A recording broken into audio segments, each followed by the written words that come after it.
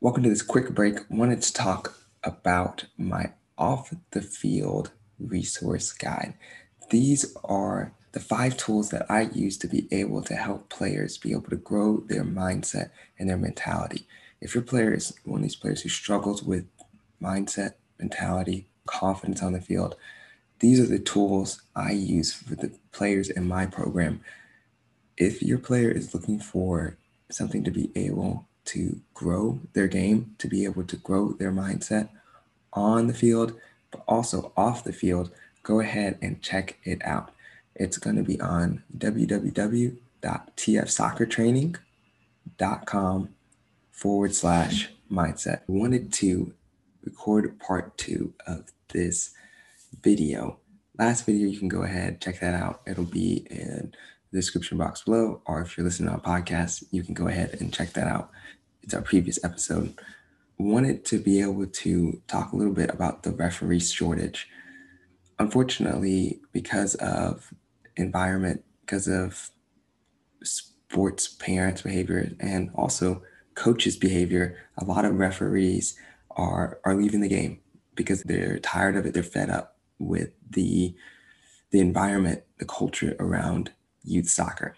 So wanted to talk about talk today about how we can best turn the tide. One of the ideas that really sticks out to me is the idea that you can change the world by changing the world around you. So one of the things that I want to do is help educate parents about about this issue. Unfortunately, when you start out in your soccer journey, you kind of fit into what the culture and environment may be.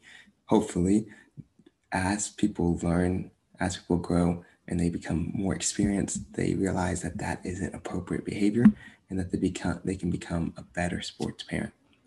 I want to give you three things that you can do to be able to help turn the tide on the referee shortage. Number one, and I know I said this last week, but it bears repeating. Please do not yell at your ref. Again, most of the time they are young kids. If you're at a U10, U11 game, it may be somebody who's 16, 17, who's just doing this because they love the game and they wanted to get a job related to soccer. But guess what? They a lot of them end up getting out because of how refs were handling the game. I'll never forget when I was that age, refing youth games, and I think I was even refing younger. They were probably six, seven, and there were things that the parents would say to me were ridiculous. I'm like, your kids don't even know what's going on most time.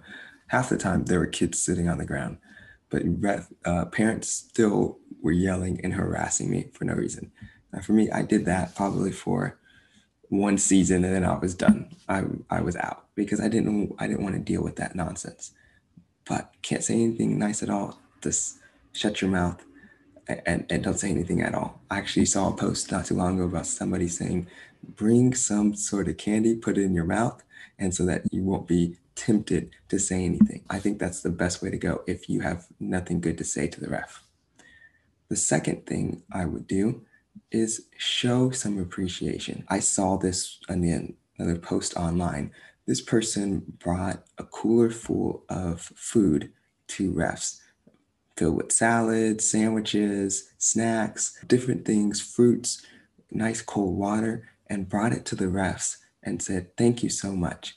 In fact, they also put a little handwritten note in there as well that just let them know how long it had been for their child since they last played. And they are so grateful for what those referees are doing. So I say that to you. Go out of your way to bring something, even if you don't, if you forget to bring something, maybe uh, go up to the ref and say, Thank you. We appreciate what you're doing and just give them a nice cold water bottle or maybe a nice cold Gatorade or something to that effect. Just let them know that you appreciate all the things that they are doing for the game because without them, your child's not playing a game. And then finally, the last thing that I would say is go out there and learn the game. Go out there and volunteer to be a ref. Take one of the classes. The classes, I think, usually even just to get your bare minimum referee license are it's pretty easy. I think it's maybe a four hour class and you take a test and then you you are allowed to be a referee. Nothing that crazy. And again, I say start by refing youth games just to see what it is that is going on in the game instead of just understanding it from a parent's perspective you can understand it from a referee's perspective you will have a greater appreciation a greater understanding. And i think if you do that it will like i said it will help turn the tide on what what is an unfortunate problem. So i ask you do those three things. Number one you go ahead stop saying anything to the referee. Don't say anything at all. Bring a piece of candy, pop it in your mouth. Number two, the second thing that you do, go ahead, show appreciation.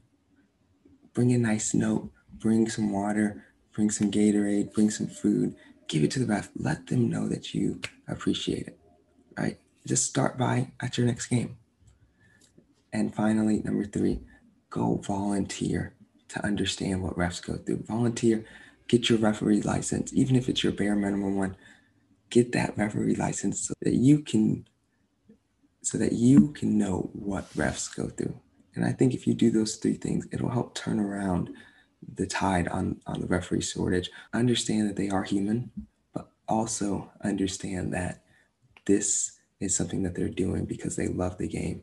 And if you are not appreciative of them, unfortunately, we might get to a point where we don't have enough refs to play play soccer games. So go ahead, try to do your part